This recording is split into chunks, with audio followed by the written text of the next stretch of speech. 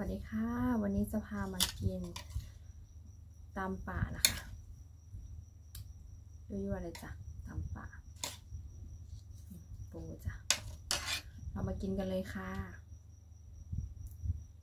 กระถินริมรั้วจ้ะมาสวยกันเลยค่ะแซ่บๆอื้อหือ